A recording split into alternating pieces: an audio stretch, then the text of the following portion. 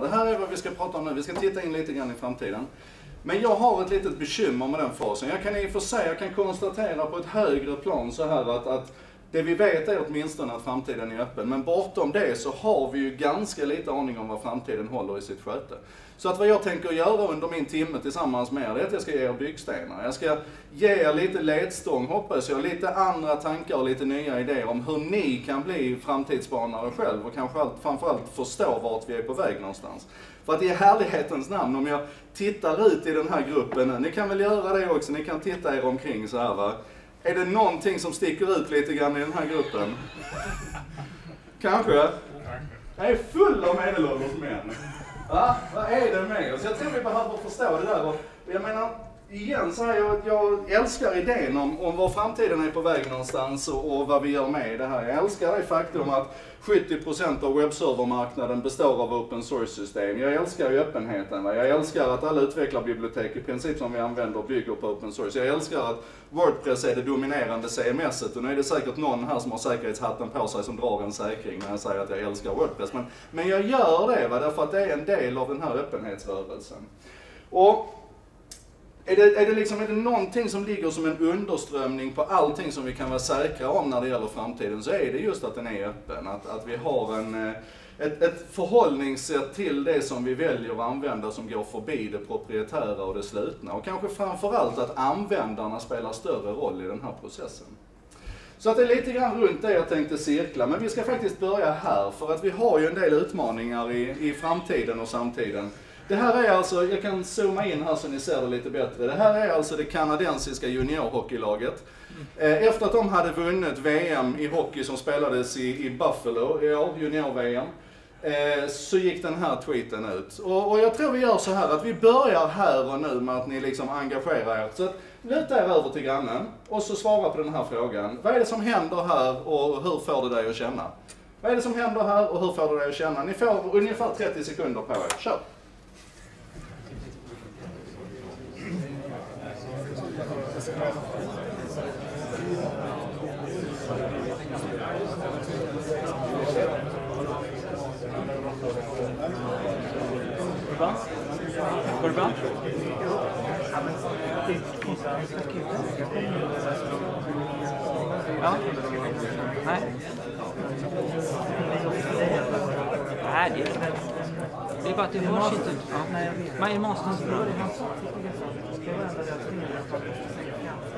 då, hör, då hörs det inte. Ja. Nej, men... dålig film så hör folk Nej, nej. Ja, tyvärr. Okej?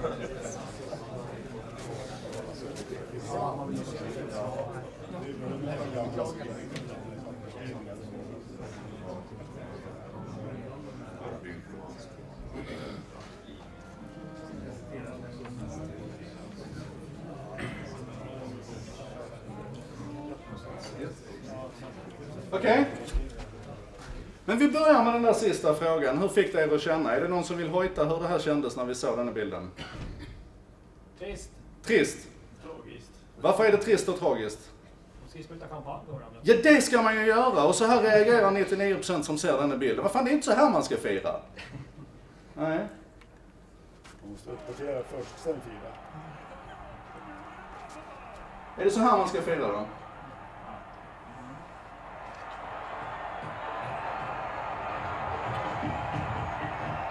Ser det bättre ut?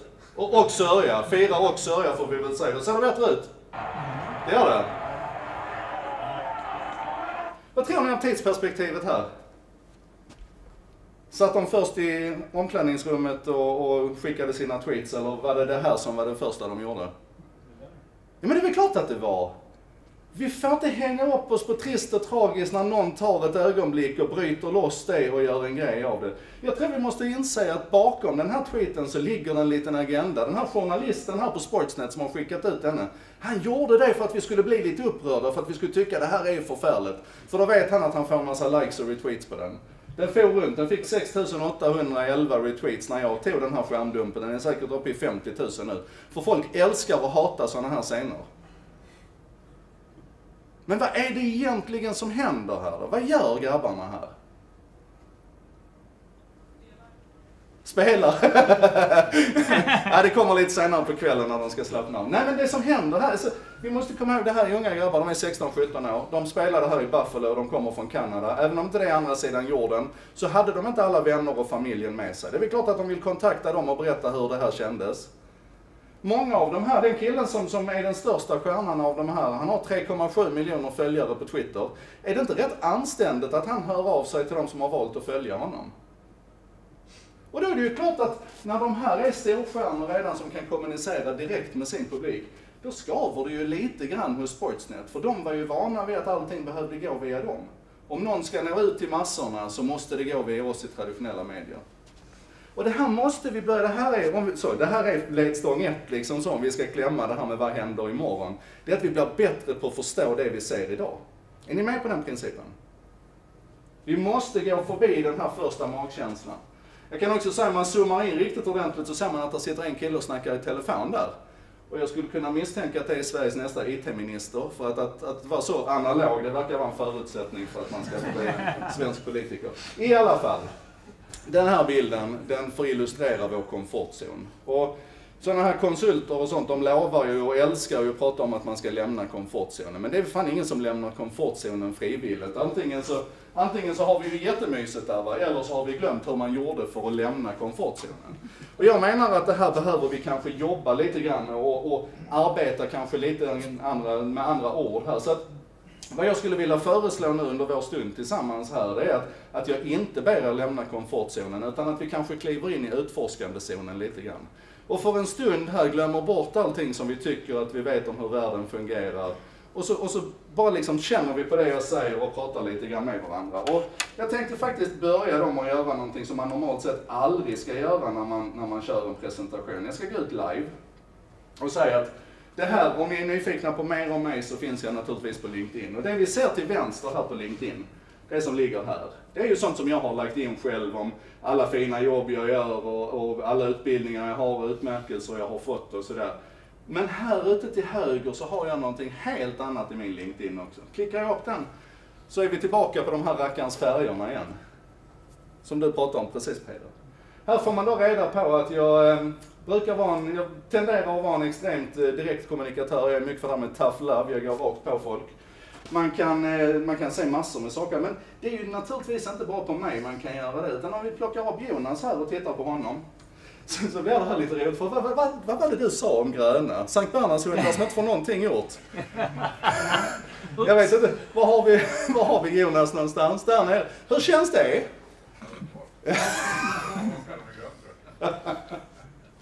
Här kan vi se då att Jonas han är stabil och han är, han är oerhört mottaglig. Han gillar inte riktigt förändring och han gillar inte konflikter. Vi kan, vi kan se här en översikt av honom. Du väntar gärna på din tur i kön och sådär. Kommunikativt så påstår Crystal, som den här tjänsten heter, att man ska prata så här med dig. Detta är vad som motiverar och driver dig. Det här är hur du fungerar på jobbet. Du lyssnar eh, och du, man ska berätta för dig att du gör ett gott jobb och så ska man vara försiktig när man kritiserar dig. Det kan vara bra att tänka på till nästa löneförhandling. Vad ska man undvika? Hur fungerar du i ett möte? Om jag vill sälja någonting till dig, hur ska jag då göra? Ja, då ska jag, då ska jag undvika för mycket hype och så ska jag komma till punkt snabbt, liksom så komma till saken. Och så ska jag förklara eh, hur jag kan hjälpa dig att nå dina mål. Poängen här det är att, att Crystal, som den här tjänsten heter, som ligger här ute till höger, den har inte bett mig berätta hur Jonas är. Den har inte bett Jonas svara på ett formulär för att berätta hur han är. Jag kan jacka in det här i min mail så att precis som när jag får ett stavningsförslag eller en grammatisk rättning så kan jag få reda på att till Jonas ska du inte skriva as soon as possible för då händer ingenting utan du måste ge honom en deadline. Poppar det upp i mailen och förklarar för mig. Inför alla möten jag ska ha så kan jag få en, en, en samlad grupprapport om hur den gruppen fungerar. Jag gjorde så här, jag gick till, till ert Leadership Archive här på OP5 och så kastade jag Crystal på den och fick reda på hur er ledningsgrupp fungerar tillsammans. Det här är de olika rollerna i ledningsgruppen. Kan ju vara bra att veta om jag kommer in och ska träffa er. Vi har Eva. Jag tycker det här är så roligt. Bara av det här så kan man gissa vilken roll Rickard Ranängen har. CFO hamnar alltid där. Han är alltid skeptiker. Jag har inte stött på en finansmänniska som hamnar någon annanstans än nere i den skeptiska blå hörnan. Det är väl underbart. Jag kan få lite kläm på hur den här gruppen fungerar rent dynamiskt. Hur hanterar den stress tillsammans? Hur hanterar den konflikt och så vidare. Och det här är alltså en gratistjänst som ligger där ute. Den heter Crystal Nose. Och nu skulle jag vilja att ni tog igen en sån här liten kort 30 sekundare och så pratar ni med varandra. Och det är två frågor denna gången också. Den första frågan är, hur känns det att alla i detta rummet har en sån här profil och att jag kan gå in och titta på er? Det är den första frågan, hur känns det för dig? Och den andra frågan är, kan ni se någonting, eh, någon affärsnytta med att kunna kolla upp folk på det här sättet? Ta de två frågorna, 30 sekunder ungefär, kör.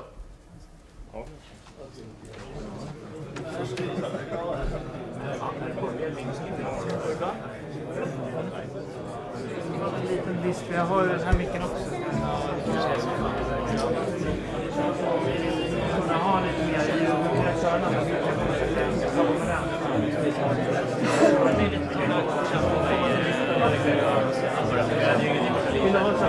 Christus.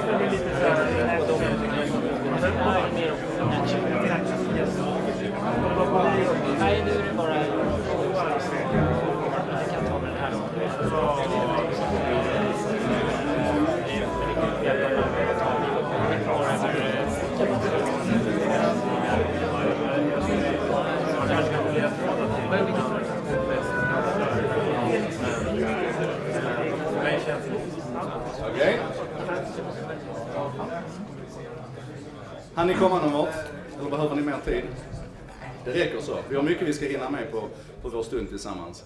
Eh, jag vet inte nu, vi behöver inte, vi behöver inte göra någon sån här gallup här på hur det här kändes. Men jag kan berätta i alla fall, när jag gjorde den här övningen med en koncernledning för en stor tysk bank. Så när jag var halvvägs in i att berätta om Crystal så bara reste sig hela gänget upp och gick ut för de behövde djupandas i 15 minuter. De var, de var helt förstörda av att jag kunde göra en sån här profilering av dem. Och det är ändå en bank vi pratar om. De profilerar ju lite grann själv om vi säger. Men vi kan väl säga så här, kan ni hitta någon affärsnytta med det här? Kan ni hitta någon poäng med det? Någon som vill ge ett exempel? Anders? Pratar ni om något? Eller Anders och Anders, praktiskt. Kan ni, vill ni ge något exempel? Nej, jag kan ju tänka mig om man, om man ska sälja något så kan man ju kolla vem ska man gå på i ledningsgruppen till exempel. Yes. Det finns hur många sätt som helst att använda det här. Det finns bilhandlare nu som har börjat använda det här inför ett bokat möte. De är ju superduktiga på att läsa den här personen som står i bilhallen och direkt veta hur ska jag prata med den. Men genom att rulla dem genom Crystal först så lyfter de det till en helt annan nivå. För de kan starta på ett tonläge. De landar i en tankeprocess på hur ska jag bemöta den här personen. Jag vet idag många organisationer med relativt rörliga team där man jobbar mycket med ad hoc-team och sådär. Att det första man gör är att man kör ihop teamet i en sån här liten rapport. Och på första mötet så lägger man den på bordet och så har man en diskussion runt den. Så här, stämmer detta? Hur ska vi egentligen hantera konflikt? Vad är viktigt för mig i den här gruppen och så vidare. Så det blir ett underlag egentligen. Men var kommer då datat ifrån? 350 olika öppna källor tittar de i. De tittar naturligtvis på LinkedIn, för det finns en plugin till LinkedIn, så det är lätt för mig att kolla där. Den eh, tittar in i min mail, eftersom jag har valt att koppla ihop den med min mail. Den tittar naturligtvis på Twitter och öppna statusuppdateringar på bloggar. Om du, om du, ehm, om du på, på Facebook menar jag, om du har en blogg så tittar den där. Runt 350, 350 källor har de. Och utifrån det så gör de en textanalys. De tittar på vilka ord du använder, hur långa meningar du skriver, hur komplicerad din text är, hur du klarar av punkt och komma och så vidare. Men den tittar naturligtvis också på vad du responderar på och hur du verkar reagera på saker runt omkring dig.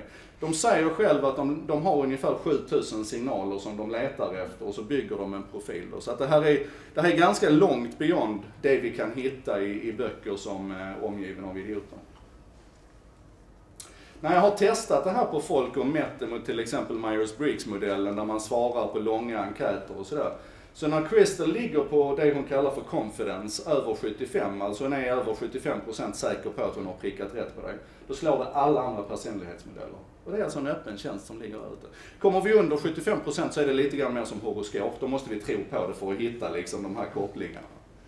Men hur som helst, det här är ett exempel på vad som komma skall. Och hur många här inne i detta rummet visste om att Crystal fanns? Crystal knows som tjänsten heter. Hur många visste om det? Upp med handen. En. Är det för att vi pratade om det precis innan vi gick på här eller? Ja, precis. Men eh, är det ingen som tänker på Cambridge Analytica? här? Jo, det är det helt säkert. Det är, det är inte samma sak. Ja, det är mycket möjligt. Det är mycket möjligt. Där Cambridge Analytica sprang vilse, det är ju att de helt tydligt bröt emot ett, ett användaravtal som fanns. De bröt ju mot Terms of Service. Här vet vi inte. Vi vet inte hur det här kommer, vad GDP, alltså 25 maj, vad kommer att hända med den här tjänsten? Men för fyra veckor sedan så stängde de en investeringsrunda där de fick in 24 miljoner dollar. Så att någon tror ju helt uppenbart på den här, den här modellen. Men det är lite, alltså din fråga är jätteintressant för att i ena änden så kan vi ju ställa oss här och så kan vi ha en djup diskussion om är det här bra eller är det dåligt? Och sen i nästa ögonblick så kanske vi behöver ställa oss här istället och säga det där kommer förmodligen att finnas. Det kommer förmodligen att bli mer av det, det kommer att bli bättre, det kommer att bli så. Hur ska jag då göra nytta av det här? Men det mest skrämmande egentligen, det är att i ett rum med så här många människor som ändå lite grann jobbar i den här nischen, så visste ni inte om att Crystal fanns.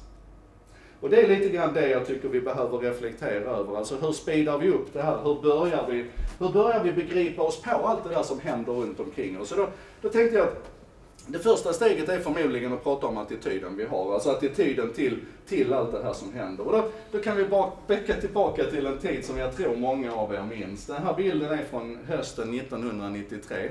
Jag sitter här och jag är magister för det här gänget runt omkring mig. De var de var arkeologer och, och eh, bibliotekarier och arkitekter, så här var yrkesmänniskor som kom till det här utbildningsstället där jag jobbade med dem i tre månader för att lära dem mer om det som på den tiden kallades för data.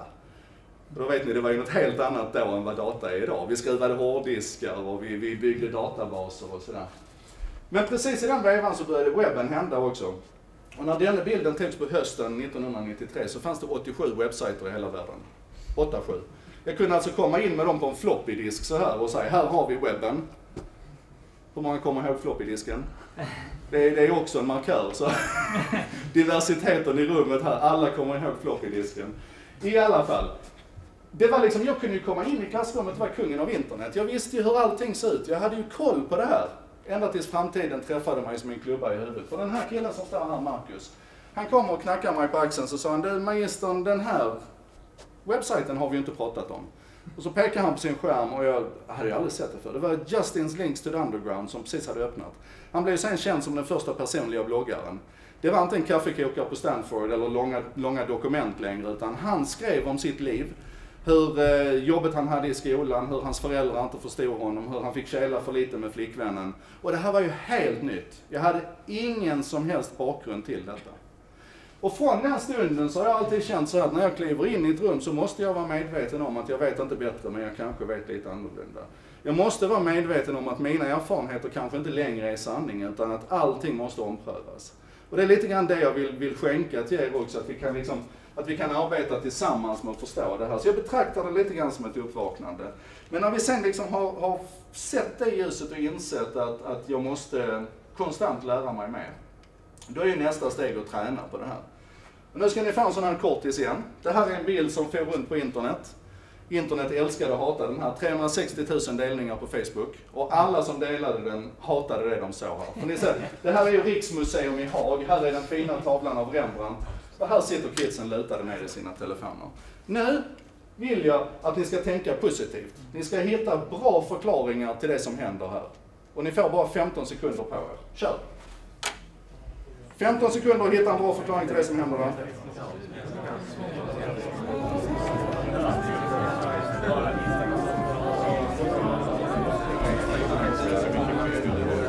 Det verkar som...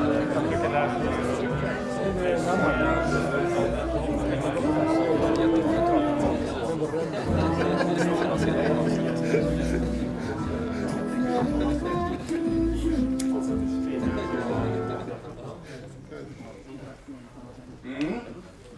Det här är ett jättebra sätt att hantera saker man ser runt omkring sig. Det är att bestämma sig för att till exempel välja en positiv vinkel. Nu måste jag hitta bra grejer i det jag ser. Eller om man är superpositiv till någonting man ser från början, då gör man tvärtom. Då säger man, nu ska jag försöka hitta vad som kan vara baksidan av detta.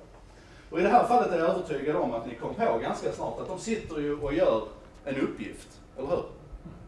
För det finns ju en visuell ledtråd här, det ligger papper i knät på dem. Det hade det inte gjort annars. Och det är alltså deras lärarinna som har delat ut uppgifter till dem på papper. Hon, alltså, de har tittat på tavlan. Och nu sitter de och fördjupar sig i Rembrandts konstnärskap. Och jag var på det museet när jag var i deras ålder. Jag är helt övertygad om att de här kidsen går ut därifrån och vet mer om Rembrandt och hans konstnärskap än vad jag visste när jag gick ut därifrån. Känns det logiskt? Bra.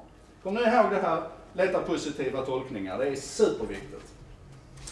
Ehm, ett- annat sätt att att betrakta det här det är att vi hela tiden ska leta efter möjligheter. Och jag jag kommer att kroka upp det här runt det engelska ordet realizing, för vi var inte riktigt säkra på om vi skulle göra det här på svenska eller engelska, så att det kommer att halta lite grann. här. Men, men realizing i alla fall med, med Z då.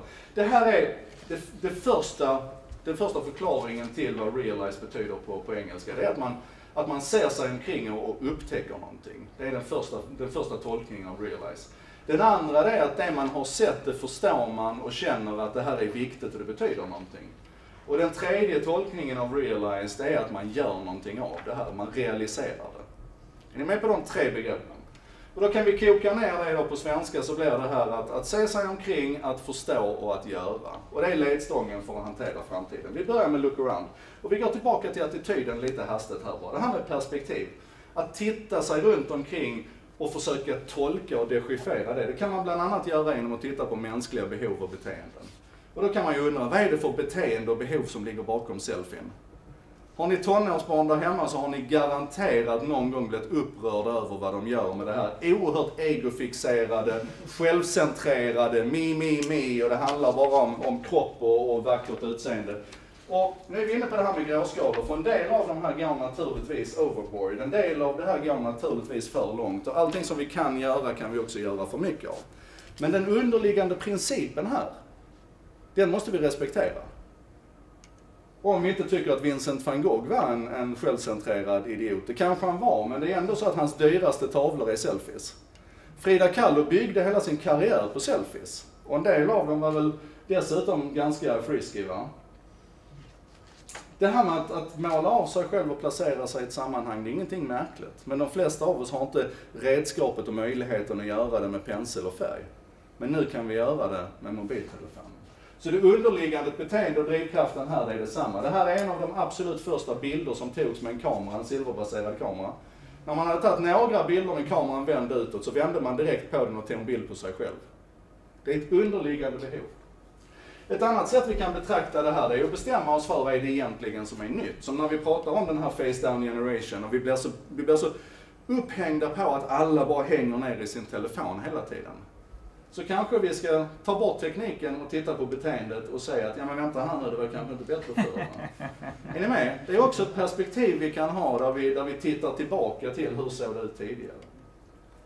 Ett annat perspektiv är naturligtvis att titta på statistiken. Det finns en undersökning som heter Svenskarna och internet som har kommit ut i, i eh, 16 år nu tror jag det är. Och då kan vi konstatera till exempel att på vissa, vissa områden här nu och, och hela vägen upp till pensionsålder så, så har vi i princip 100% närvaro på internet. När vi har 100% närvaro på internet eller när vi inom vissa kategorier har, har 100% närvaro, då betyder det att vi kan sluta göra saker analogt för att allting har flyttat över till den digitala världen. Så bara genom att titta på statistiken och göra vett av den så får vi kanske också en annorlunda attityd till saker och ting. Och sen är det det här med människor. Och det här är min favorit. Om vi ska begripa världen runt omkring oss så måste vi titta på människorna. Ni ska få några arketyper här. Men vi börjar med detta.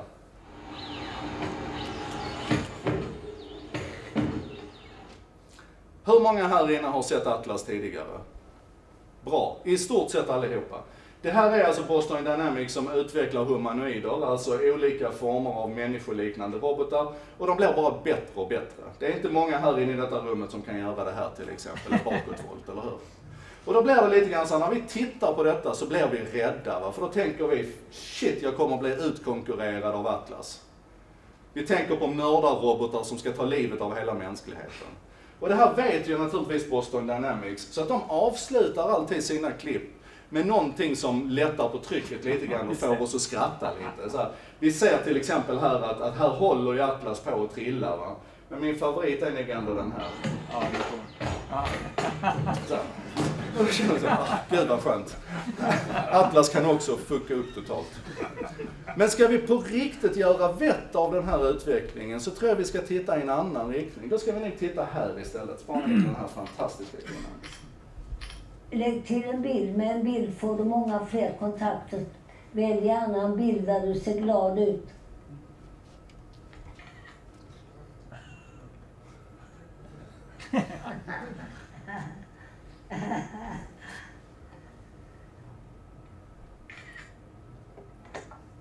Om mig. Är du redo för ett långsiktigt förhållande? Det jag visst inte. Nuvarande civilstånd. Änka får jag väl kalla mig för. Har du barn? Nej. Och det kommer mera. Jag behöver inte tala om att jag har hundra år. Löpning är ingen idé för det är bättre att gå. Dans har jag fått sluta med. För jag har ingen att dansa med. Äventyrlig jag ibland. Inte bekymmerslös. Lite blyg är jag faktiskt. Man behöver ju inte ge sig in i sådana här äventyrligheter om man inte... Men jag är lite våghalsig.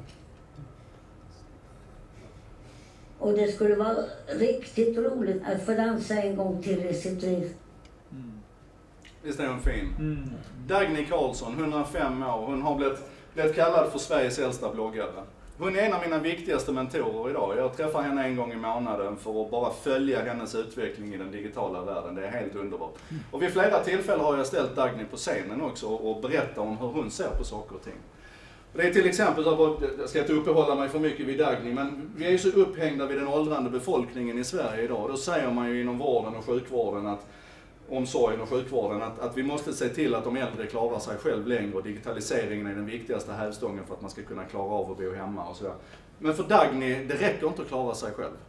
Hon vill göra mer, hon vill vara efterfrågad, hon vill vara behövd. Och det löser hon bland annat genom att ha bloggskola. Så att hon har ett litet gäng i sitt bloggteam då som, som hon leder ut på i bloggosfären. Den, den yngsta är 87 år gammal och hon kallar dem för sina ungdomar. Jävla skön är hon alltså. Men en sak som Dagny då sa vid ett tillfälle när hon stod på scenen, det var att hon ser fram emot robotarna. Och det har jag grävt lite grann. Varför tror ni att Dagny ser fram emot robotarna? Sällskap. Mm, sällskap. Och lite mer specifikt, vad var det sista hon sa i filmen? Dansa. Hon vill dansa. Hon har konstaterat att alla gubbarna i hennes ålder har träben. De är helt odugliga. Men, men hon har ju en Google Home stående där hemma som hon pratar med, med sån här Google Assistant. Då. Så hon ser framför sig att hon säger till den när det är fredag kväll så här. Okej Google, play some Barry White. Och så börjar det liksom komma ljuv musik ur högtalarna. Och så kommer den här roboten fram och så kan de dansa så länge Dagny tycker det är roligt och orkar. Och då blir det lite grann så här, då, då, då fastnar vi lite grann, nej men det här är ju tragiskt, hon måste ju ha en människa att dansa med. Men det är inte det Dagny säger. Vi måste väl lita på henne, vi måste väl låta henne skapa den här idén om vad hon behöver och vad hon vill. Och de började hända saker hos mig också. Då är det kanske inte så att roboten ska vara begränsad till att klippa gräset, utan det kanske är så att jag börjar hitta en massa andra saker som jag skulle vilja ha en robot till. Till exempel ringa upp och boka tid hos hårfrisörskan som, som Google alldeles nyligen visade på utvecklarkonferensen IO. Där du alltså de här sakerna, där det inte finns ett webbgränssnitt så har det ju varit svårt för maskinerna att lösa det tidigare. Men har du en röstuppringare som lyfter luren, ringer till hårfrisörskan och har ett fullständigt naturligt samtal med hårfrisörskan i andra änden. Hon har ingen aning om att det är en robot som ringer henne och, och fullföljer den här bokningen. måste gå in och se det klippet. Men det här är den ena sidan av myntet och det som händer med 105-åringen. I andra änden så, så har vi det här. Den här killen, han heter Hugo Falk, han kommer från Göteborg. Han eh, vill vara duktig, han vill göra läxan, men det suger att sitta med alla papper på bussen tycker han. Så han går till klassläraren så säger han, var är läxläsningsappen? Och klassläraren tittar ju på honom som om han var från Mars ungefär. Vadå läxläsningsapp? Jag förstår inte ens vad du säger. Vad gör Hugo då? Ja, han ger inte upp i alla fall, utan han gör detta. Och sen då, eh, fattade vad problemet var, vad du ville göra. Vad gör man sen? Och sen börjar jag koda. Vänta nu här, han är 12 år gammal. Vad gjorde han sa han? Vad sa Hugo att han gjorde? Han började koda. Och det har han lärt sig alldeles själv. Det är långt innan, innan Skolverket kom på att vi ska ha programmering på, i läroplanen. Det är liksom, och, och för att kunna åstadkomma det här fick han börja med att lära sig lite engelska bättre så att han kunde förstå de här utvecklarmanualerna och sådär. Det tog honom tre månader så låg appen i App Store. Det är rätt häftigt. Jag tror att vi behöver förstå den här sortens människor som höger. Vi behöver, vi behöver förstå att de kommer in och inte längre bara är användare till våra system utan att de faktiskt är, är kravställare och kollaboratörer i ordets bästa betydelse. De kan vara med och hjälpa till. Men inte minst kan vi lära oss lite grann av den här 12-åringen som säger att det viktigaste du behöver lära dig, det är att lära dig. Jag tar ett exempel till. Men Det här är en 15-åring. And the winner of the $75,000 2012 Gordon E. Moore Award in the category of medicine and health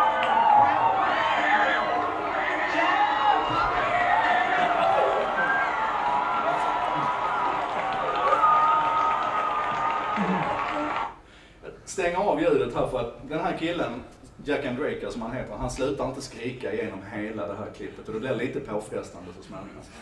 Han, han, han blir alltså så här glad för att han vinner första pris i, i, en, i, en, eh, i en tävling. Alltså han, han är gåvan som bara fortsätter att ge. Han är, han är också en av mina mentorer faktiskt. Jag pratar med Jack en gång i månaden också. Han är i San Francisco nu men vi, eh, vi kör en liten Zoom-konferens en gång i månaden. Ehm, han vinner alltså det här priset i en tävling för unga forskare kan vi kalla dem, men han är ju inte forskare. Han är ju en vanlig, vanlig 15-åring. Han går på en vanlig high school i Maryland. Eh, och han får och blir jätteglad då, inte för 75 000 dollar utan för att någon liksom tycker att det han har gjort är bra. Titta som han skriker här i konfettiregnet. Och den här killen bredvid här på min sida om honom som inledningsvis klappade om honom och så här. Titta på hans min här nu när vi, när vi ser, där, ser ni, där frös leendet. Det här skrikandet är fruktansvärt alltså. Men vad, vad, Jack belönas för det är att han har hittat ett nytt sätt att detektera cancer, att upptäcka cancer, specifikt då sköldkörtelcancer. Och Jacks sätt är alltså 168 gånger snabbare än det gamla sättet. Det är 26 667 gånger billigare än det, det gamla billigaste sättet. Så nu är man nere på 5 cent för att göra ett sånt här test.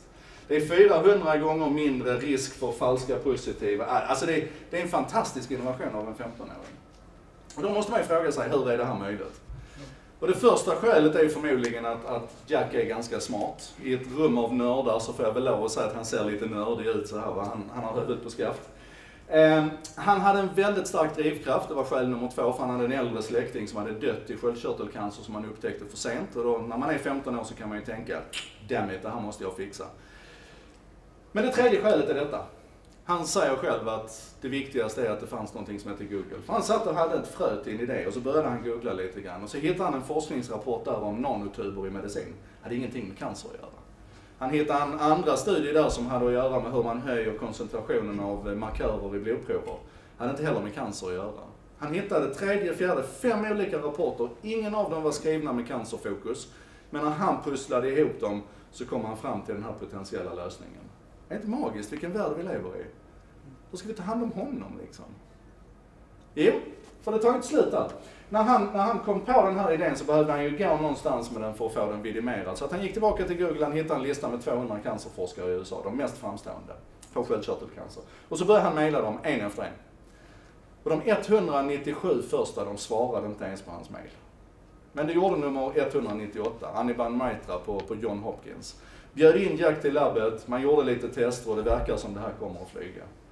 Det är ju långa processer det här, men allting ser bra ut. Är det inte häftigt?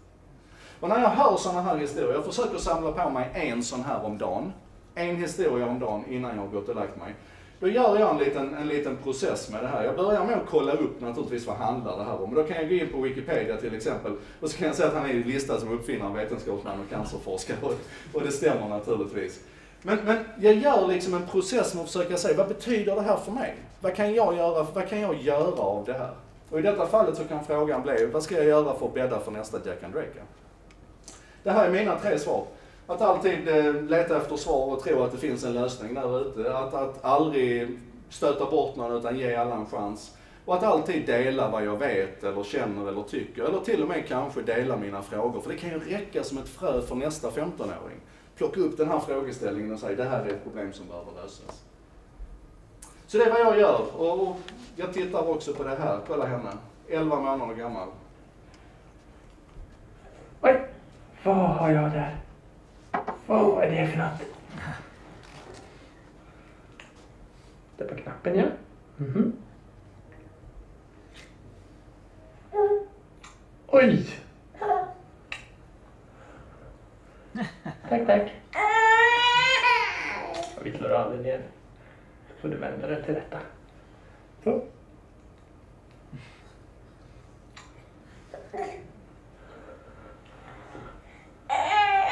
Visst är hon fin? 11 månader gammal kan inte ens stå på benen än men kan redan hantera den där prylen. Så den är ju bättre designad än vad hennes egen kropp är. Och redan det är ju fantastiskt.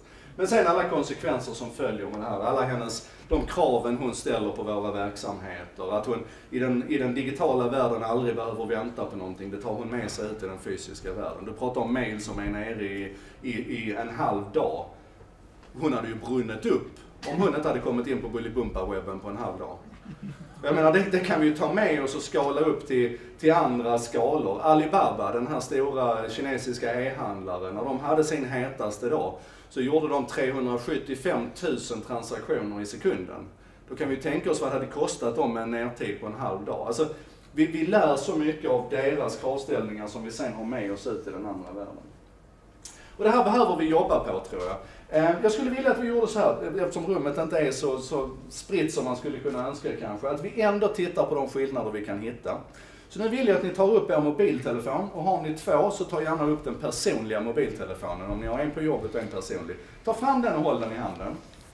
Så ska vi göra en liten övning. Ni ska ställa er upp nu, så ni får in lite blod i kroppen också. Och så ska ni göra detta. Luta er över mot grannen, titta på varandras hemskärmar, kolla vad ni har för applikationer installerade, hur de är sorterade, hur många notifieringar där ligger. Och så bara ha en liten diskussion om det. Ni får knappt en minut på er. Och stå. Upp och stå. Jag kommer inte ge mig. Jag har en väldigt spacig bakgrund faktiskt. Jag har appar först och sen har jag tredjeparts. Allt är bostadsrätter. Inga badges. Det får inte vara badges. Inga? Inga badges. Som visar eh, när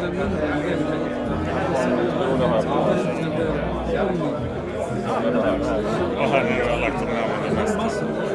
De använder dagligen. I princip. Kolla efter uppdateringar varje dag. Nej, men jag har inte automatiskt det. Det är inte roligt. Då vet man inte vad som händer.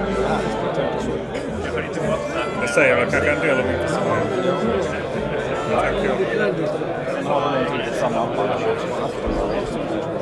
Okej. Är. Då kan vi eh, sätta oss ner igen.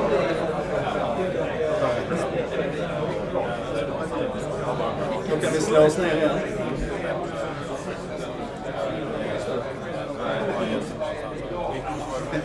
Kan, ni, kan fortsätta, ni kan fortsätta med den här övningen sen på, på nästa fikapaus. För det ni gjorde nu, det var världens snabbaste lilla omvärldsbevakning. Det här är en av de saker jag gör när jag träffar Dagny varje månad. Det är att vi sätter oss ner och utifrån vad som har hänt i hennes digitala lilla värld så för vi ett samtal. Och jag lär mig jättemycket varje gång. Jag hoppas ni gjorde det också. Jag kan bara ta ett exempel här. Det här är min hemskärm. Den ser förmodligen inte speciellt annorlunda ut än er. Men man skulle kunna göra en personlighetsanalys av mig här. Men det är nog intressantare då och tittar på hur det ser ut på den här 12-åriga tjejens hemskärm, India Silbersky. Den enda appen som inte ligger här på hennes skärm, det är telefonappen. Och den hade ni säkert allihopa, eller hur? För det är klart att mobiltelefonen måste man använda som en telefon. Det måste inte den här 12-åringen. Det ligger förvisso Viber där nere, men det är bara för att föräldrarna ska kunna ringa till henne för att hon ska kunna skicka meddelanden. Telefonappen, den har lyckligtvis hamnat i socialt i alla fall. Där har hon sorterat ner den. Alla de andra Apple-apparna ligger i den mappen som heter skit. Är ni med på var vi, var vi är på väg här nu? Hur enkelt det är att bara få en annan bild. Till exempel bilden av att shit, vi är ju lika olika i den digitala världen som vi är i den fysiska världen. Den sortens signaler kan vi plocka upp och leta efter. Men om vi då ska röra oss ifrån det här med att se oss omkring till att faktiskt förstå. Så jag ska inte kasta en massa sådana här flummiga ledarskapscitat på er, men jag tycker att Myron Tribus naglade det när han sa att you can manage what you do not understand. Det är ju bara att kunna processen och köra lite Excel och sådär. Men om vi ska leda någonting så måste vi förstå det. Och det är därför jag vill att även om vi är specialister på våra enskilda områden här, så ska vi upp lite grann i den här helikoptern och så ska vi ta ett större perspektiv. För att vi måste fatta internet, vi måste fatta den digitala transformationen och att nu svär jag i kyrkan här, men det handlar inte om detta. Den här bilden är från, eh, från Ericsson nere i Ungern och, och klassisk datorhall liksom. Va? Men internet idag, det får inte lov att specifikt handla om kablar och rotrör och konfigurationer. Även om det är grundplåten. Men användarna förutsätter att det fungerar, så för er som redan kan detta, så är det det här ni behöver förstå. Ni behöver klämma vilka, ni behöver liksom, vad är det för nya krav som hon ställer på oss? Vi behöver ibland ta av oss den här hatten av att shit vad det här ser besvärligt och konstigt ut och vad betyder det här för hennes koncentrationsförmåga, hennes kognitiva förmåga, hennes sociala förmågor. Av med den hatten emellanåt och kliva över här och säg, om det nu är så här världen ser ut. Om 60% av alla svenska tvååringar redan är aktiva internetanvändare, vad fan betyder det för mig? Vad kommer det betyda när hon har vuxit upp, som i det här fallet med en iPhone, och hon kommer in i mitt företag och vi säger nej men här kör vi inte iPhone, här kör vi Android. Det är som att hugga av henne den handen hon skriver med och, och kräva, ni vet en gång i tiden var det ju så, man fick inte lov att skriva med vänster hand i skolan. Vi kan inte jobba på det viset längre för då kommer vi inte attrahera dem. Vi kommer säkert att attrahera någon, men kanske inte de som vi vill attrahera, de som är de bästa. Så att vi behöver liksom tillbaka till realize då, vi behöver förstå vissa delar i det här. Och nu ska vi testa om ni känner igen detta.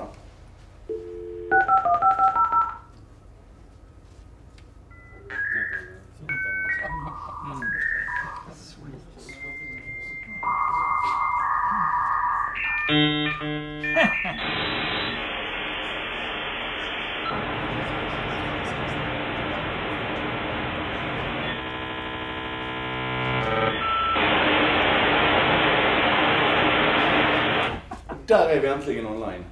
Hur många här inne var det som blev lite ömma i ögat nu? Minnenas allé. Ja, men det var en rätt skön tid för det var vi och dem va? Vi som var där och de som inte var där. Nej, men för de allra flesta så var ju det här starten på vårt internetande. Och vi minns det som det var igår när vi skrek till familjen att rör inte telefonen för jag är internetande. Vi lyfte de luren så blev vi nerkopplade ifrån BBSen. Och, ja, åh, det var... Problemet med att vi minns det och att det sitter i benmärgen på oss, det är att vi gör en skillnad på online och offline. Iris har aldrig suttit vid någonting som inte har varit uppkopplat. För henne finns det inte en sån tydlig distinktion att det finns en hierarki. In real life betyder ingenting för henne, för det är lika verkligt det som händer i skärmen. Och det här behöver vi sudda bort och, och jobba lite grann på, tror jag, att hitta rätt i det här förhållningssättet. Och jag tror att vi, vi behöver förstå att, kan ta det här som ett exempel, självkörande bilar. Om jag nu ska prata om hur vi, hur vi liksom managerar och förstår den här förändringen som sker, så kan vi ta det här, för alla här inne känner till självkörande bilar, autonoma fordon. Det diskuteras jättemycket i alla sammanhang idag. Vad händer med försäkringar? Vad händer med vad händer med ansvarsfrågan? När kan jag köpa en? Och så. Men det är fel frågor att ställa. För att om vi förstår hur det här går till egentligen, så inser vi att, att det är andra frågor vi behöver ställa. Jag ska, vi bara snabbt springer igenom det här. Alla här inne har körkort, eller? Är det någon som inte har körkort? Okej, okay. alla utom du kommer att förstå det jag säger nu. Okay. När vi tog det körkortet en gång i tiden så började det med att vi fick lära oss instruktioner. Vägmärken, trafikregler, så här håller man i ratten, så här rör man runt i bensinen. Vi kommer ihåg det va? Det är inte svårt att fatta att samma sak kan vi göra med en dator. Det är bara att hälla in vägmärkena och hälla in böckerna och hälla in reglerna i den, så har vi programmerat datorn att kunna köra bil. Det är den första fasen. Den andra fasen för att vi ska bli bra bilförare, det är att vi tomtar omkring ute i trafiken och samlar på oss erfarenheter. Oj, där gick det lite fort i den kurvan, så tar vi det lite lugnare nästa gång. Antingen så lyckas vi eller så lär vi oss någonting. Samma sak händer ju med de självkörande bilarna här i fas 2. Skillnaden är bara att de delar ju på alla de andras erfarenheter i realtid. Så har en bil kört lite för fort i kurvan så behöver ingen annan bil göra det. Det här börjar vi se redan nu när, när Volvo bygger ihop Volvo Cars och Volvo lastbilar. Så att Volvo-bilarna som är ute och kör i trafiken skickar varningar till lastbilarna, Volvo-lastbilarna i trafiken. De blir ju snabbt mycket, mycket bättre än vad vi är på att köra bil eftersom de samlar på sig erfarenheter. Exponentiellt bättre. Den tredje fasen för oss som bilförare är att vi blir lite bekvämare och börjar skicka sms samtidigt som vi kör bil. Eller att vi blir lite gamla och reagerar långsammare och ser sämre och så vidare. Den här relativt dåliga utrustningen med sensorer som vi har, den blir bara sämre och sämre. Det är inte alls samma sak med de självkörande bilarna. bättre sensorer, mjukvaruuppdatering över natten. Och, och när vi liksom klämmer de här tre faserna av hur vi utvecklas och hur självkörande bilar utvecklas, då är det helt självklart att vi landar i andra frågor. Och en sån fråga det är till exempel, när tror vi att, att det blir förbjudet för människor att köra bil? Det kommer att hända. Det kommer garanterat att hända att vi inte får lov att köra bil i trafiken. Det är oundvikligt att det händer. För vi kan spara så många människoliv genom att plocka bort mänskliga faktorn ur den här ekvationen. Och tror ni att er individuella frihet att köra bil väger tyngre så varsågod tänd en cigarett här inne och se vad vi säger om individuell frihet när kollektivet trycker på. Det kommer att hända. Och då, då blir nästa fråga, så, men vad betyder detta då? Ja, vad betyder det för Volvo till exempel, en av mina favoritkunder? Det betyder att de kan säga att, att 2020 så kommer ingen att bli allvarligt skadad eller dödad i en Volvo. Deras, vad, vad står Volvo för? Vad är kärnvärdet för Volvo? Säkerhet. De så, bring it on! Ju säkrare bilarna blir, ju bättre positionerade är vi. Vad är BMWs kärnvärde? Vad är det de säljer bilar på? Vad säljer BMW bilar på? Ja, de är ju så jävla körda. Alltså förlåt, ursäkta skånska. när, du, när du sitter i baksätet, eller ännu hellre när du står bak i bilen och lagar mat på vägen hem, eller du tar ett pass med PTn på vägen hem, eller du, du, du sover på väg till jobbet för att du sov dåligt på natten, vet systemet då, så då kommer bilen färdigbäddad till dig. Vadå körglädje? Då behöver man en plan B. Va? De behöver verkligen tänka om på var de ska ta vägen någonstans. Och så är det liksom om vi sen börjar dra fram andra och tredje gradens konsekvenser av det här. Jag har hundra tekniktrender som jag följer löpande och för var och en av dem så kan jag sitta ner med vilken kund och klient som helst och hitta beröringspunkter där den här utvecklingen kommer att betyda någonting för dig. Och det här behöver vi klura på och fundera på. Jag tror att, att procentsatsen av de som känner igen detta här inne är ganska hög. Ni som jag. Hur många har löst en Rubiks kub här inne? Inte fler! Men ni känner igen det va? Det här med att man ska, man ska få alla sidorna i samma färg. Här är världsmästaren. Han är rätt snabb på det kan man säga. Alla som någon gång har testat vet att det där är, liksom, det är nästan omänskligt snabbt. Och de blir ju så glada och lyckliga. Åh, det är så sött. Okej, okay. sen händer då detta. Solving in three, two, one.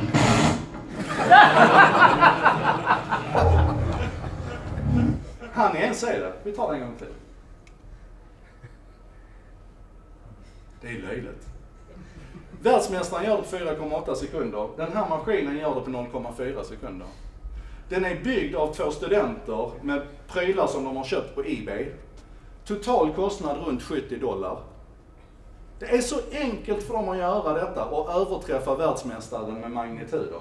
De säger att de skulle kunna göra det här mycket snabbare, men då smälter plasten i kuben.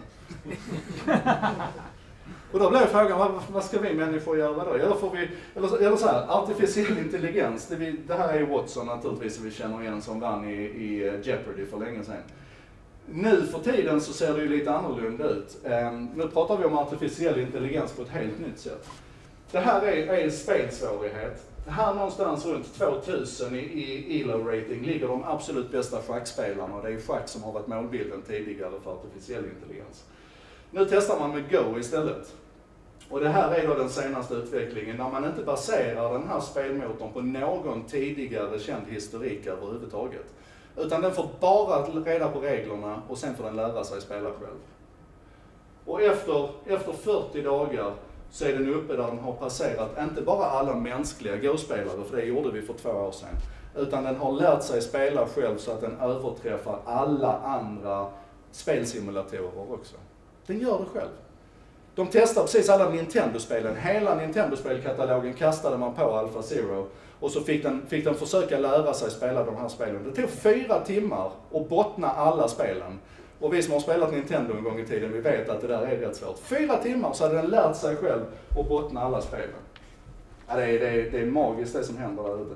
Och det här är, då, det här är en slags oundvikligheter som, som jag tror också leder till att vi måste börja fundera över, ja men vad är det vi ska kunna, vad är det vi ska göra?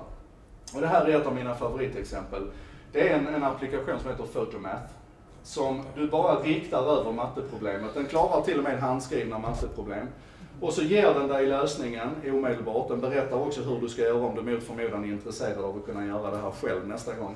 Men när vi ser detta så måste vi börja ställa oss frågan, vad är egentligen det viktigaste? Att jag kan lösa den här ekvationen eller att jag har mindsetet av att det finns en lösning där ute och förmågan att leta upp och hitta den lösningen. Jag säger inte vad som är rätt och fel här, men jag säger att vi måste börja fundera i de termerna. Vi måste börja klura över vad är det egentligen vi som människor ska göra och vad är det vi ska kunna. Och då är vi framme vid det tredje elementet här som, som handlar om, om görandet och det vi, det vi faktiskt ska pyssla med. Jag vet inte om vi har några Formel 1-fantaster här i, i rummet, men det vi ser här, det är... But Holland comes in for a pit stop. Time to refuel and change tire. Det är ett depåstopp 1950 i den snabbaste motorsportgrenen som fanns då. Det här är året innan Formel 1 blev Formel 1. Och ni ser här, det går inte så rasande snabbt. Va? Och jag tror att även om ni inte är intresserade av motorsport så har ni ändå sinnebilden av att idag så hinner man inte riktigt servera en kopp te till föraren. Va? Och, och man, man, det går lite, lite snabbare än vad det gör här. Prata med varandra bara kort här medan de byter däck och fundera på varför, varför går det snabbare idag än vad det gjorde då? Kom på så många anledningar ni kan till att det går snabbare idag än vad det gjorde då. Så får ni lite, lite motorljud här medan ni...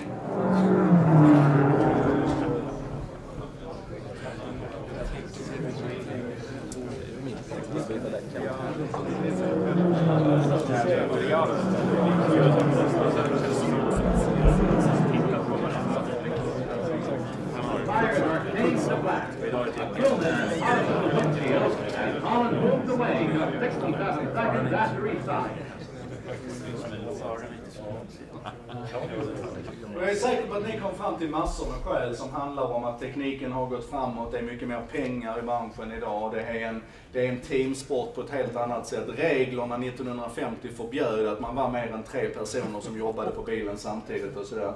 Men innan jag ger det rätta svaret, för det finns ett sånt, så kan vi väl bara ta den här visuella bilden av hur snabbt det gick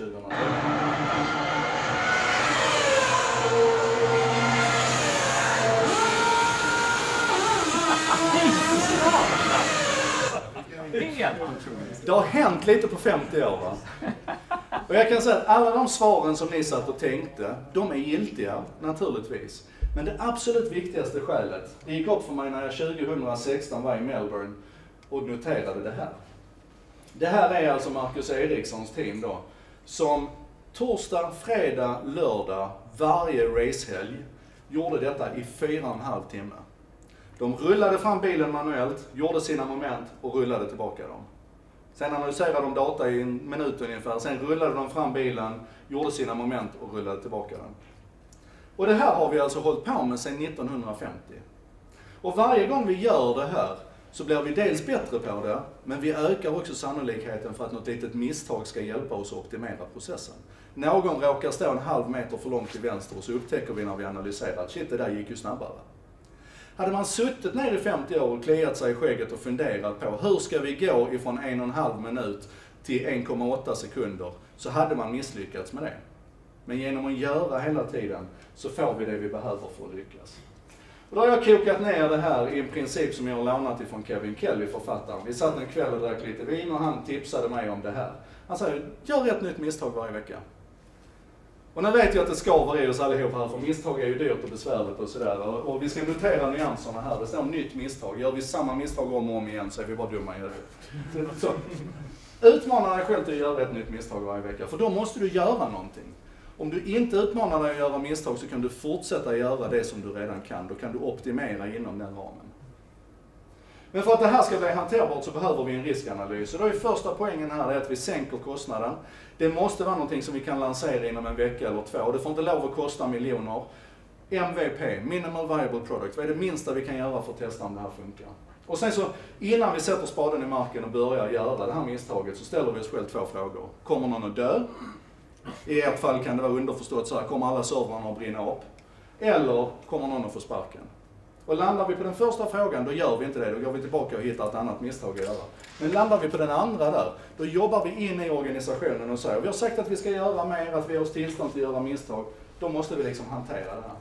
Så vägen framåt då, det är två exempel härifrån Helsingborgs stad. Man hade en webbsändning av kommunfullmäktige ehm, och eh, man hade väl sju tittare i snitt ungefär på den här perfekta lösningen som låg på egen server och var upphandlad enligt konstens alla regler. Då tänkte man så här, hur kan vi få fler tittare här? Var finns våra tittare någonstans? Och så var det någon som sa, ja de finns ju på Facebook. Och istället för att göra en stor process av det här så gjorde man ett 30 sekunders beslut. Man, man tänkte, ingen kommer att dö och ingen kommer att få sparken på grund av att vi inte gör det här på Twitter också, eller på grund av att vi som kommun uppmuntrar en, en, en, våra deltagare, våra medborgare att gå till en amerikansk sajt och sådär. Utan man bara tryckte på knappen och genast så är man uppe i 2000 tittare istället. Ingen dör, ingen får sparken. Och man får bonuseffekter här. Han som sitter här, kommun, eh, kommunfullmäktiges ordförande, han blir lite inspirerad av detta så att han börjar själv sända live också från sin mobiltelefon. Så inför sista klubbslaget så kickar han igång en livesändning och lägger ut här ute och, och får jättemycket respons på det. Vi funderar på att döpa om honom, om honom till, till Mats Sänder. Um, men det är inte bara i den digitala världen vi kan göra detta, utan det funkar i den fysiska också.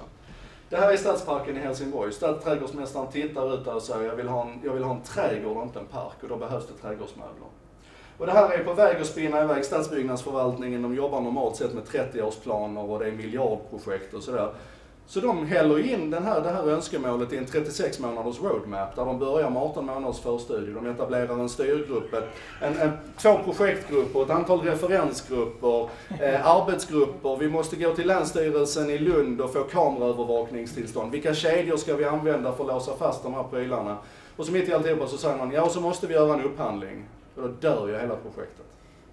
Men då säger Martin, stadsträdgårdsmästaren, det var inte så jag menade, det står en lastbil här bak. Vi åker ut till Ikea och handlar lite möbler och sen har vi ett party på bottenvåningen på stadsbyggnadsförvaltningen. De dricker lite påskmust och, och äter lite pizza och gör de här prylarna snygga. Sen morgonen efter så går de ner, där är stadsbyggnadsdirektören, egen hög person, och sätter in det här i parken då va, fikar lite grann och, och myser och så. Och, och, så står stolarna där från april när det var påsk då till, till september när man plockar in dem igen. En stol hade blivit lite skadad. Ingen hade slått ihjäl dem med någon stol, ingen hade burit iväg med dem. Helsingborgarna älskade det här och totalkostnaden var 10 000 kronor. När stadsbyggnadsförvaltningen upptäcker att de kan jobba i det här tempot också, då händer det någonting med dem. Stor förändring händer när vi, sker många, när vi gör många små saker brukar man säga. Eh, avslutningsvis bara helt kort, ni känner igen det här va? Nationalencyklopedin. Eller om ni är från eh, England så känner ni igen Encyclopedia Britannica eller den spanska Encyclopedia Hispanica. Vad har tagit över idag? Wikipedia. Ja, Wikipedia. Och Wikipedia är en alldeles utmärkt råmodell för hur vi behöver klura idag. För att om vi tittar på byggstenarna som utgör Wikipedia så kan vi konstatera att mjukvaran är open source. Alla är med och bygger och skapar. Det finns ett öppet API så att alla tjänster kan kroka in i den här och vara med och bidrar till att höja det totala värdet. Allt innehåll som ligger där är öppet licensierat. Så jag kan ta hela Wikipedia och trycka i en bok och sälja den och bli miljonär om jag nu tror på den affärsmodellen. Men det är också öppet för alla att bidra. För den här öppna processen är superviktig. Kollaborationen, att alla kan vara med. Sammanfattningsvis, Wikipedia är open everything. Och jag vet att ni på OP5 jobbar på det viset också. Ni är öppna, ni bygger på mjukvara, ni ger tillbaka jättemycket till open source communityt och det är kalasbra. Men hur är det med er här ute? Jag tror att ni ska gå hem och ställa er den här frågan, att hur länge kommer vi att vara relevanta eller till och med överleva om vi fortsätter att fungera som en blackbox och inte öppnar upp så som Wikipedia har gjort. Det var väl en klämkäck avslutning. Nu ser ut lite grann så här allihopa. det, det var inte meningen. Men när vi pratar om utforskande så är det inte där vi ska utforska. Va? Utforskningszonen det är det som händer runt omkring oss. Framförallt ska ni inte leta där. Det är ingen bra plats. Utan ta med er vad han sa här, sista gubben. Eh, Aristoteles, han sa så här att det vi behöver lära oss att göra, det lär vi genom att göra. Så spaden i marken nu gubbar och sätt fart. Tack så mycket för